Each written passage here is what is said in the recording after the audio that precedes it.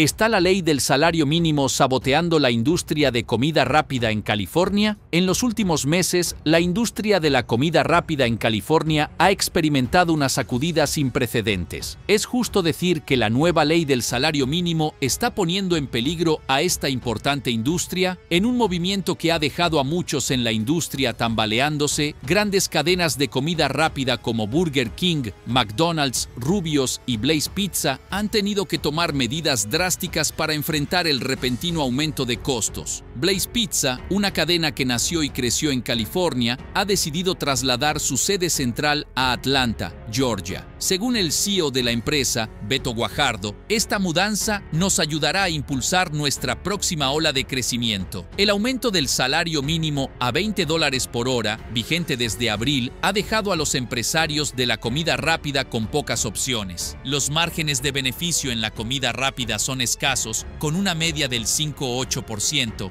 señaló Lee Ohanian del Hoover Institution en la Universidad de Stanford. Esta ley, según muchos, ha obligado a las empresas a recortar sus plantillas y subir los precios, impactando directamente tanto a empleados como a consumidores. La California Business and Industry Alliance, CAVIA, ha sido una voz fuerte en contra de esta medida. Según un anuncio publicado por CAVIA en USA Today, más de 9.500 puestos de trabajo fueron eliminados entre el otoño y enero, una disminución del 1.3% respecto a septiembre de 2023. Las subidas salariales sin precedentes tienen consecuencias sin precedentes, especialmente en California, donde las circunstancias ya están en contra de las empresas, afirmó Tom Manso, presidente de la fundación. Rubio's Coastal Grill anunció que cerrará 48 locales en California, representando cerca de un tercio de sus instalaciones en The Golden State, Nevada y Arizona. Los precios también han subido rápidamente.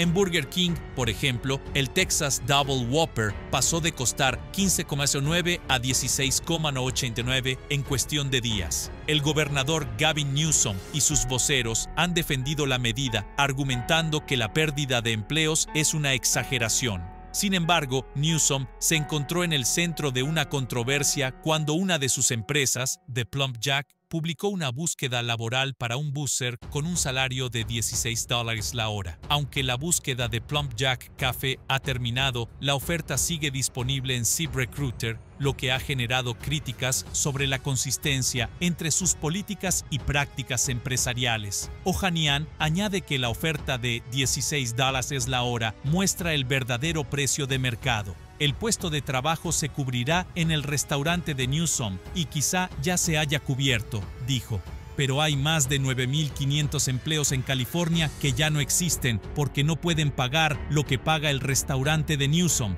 Y eso es lo más triste de esta nueva y fea ley. La ley del salario mínimo ha puesto en jaque a la industria de la comida rápida en California. Las empresas enfrentan la difícil decisión de subir precios o reducir personal, mientras que los trabajadores y consumidores sufren las consecuencias. La pregunta sigue en el aire. ¿Está esta medida realmente ayudando a los trabajadores o está causando más daño del que prevé solucionar? Si esta noticia te ha parecido interesante y quieres estar al tanto de más novedades, no olvides apoyarnos con un like y activar la campanita para recibir notificaciones. Gracias por tu apoyo.